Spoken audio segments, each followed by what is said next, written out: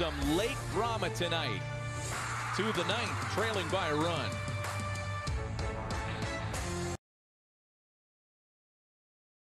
Take Also- that analytics. Take that analytics community. No stride run. And now Trout might get an opportunity as well. As with one away, Otani digs in as the go-ahead run. Exactly the scenario we were hoping for coming into this ninth inning.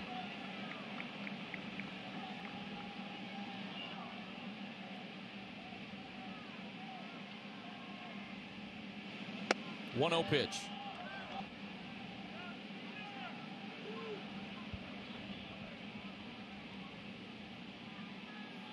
The 2 0. Oh, that was the one right there. That was the one. Got a slider, middle Oh, of the plate. man. Wow. Holland got a, oh boy. Oh. oh, not many pitchers get away with that pitch, especially against a guy like Shohei Otani. He was trying to.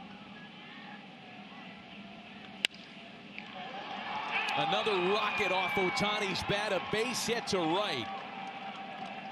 Fletcher to the next station, and the fire's hot for Mike Trout.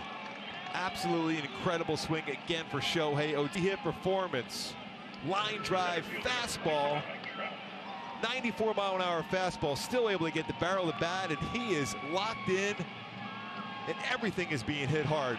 Merrifield goes, you know what, I'll think about it, but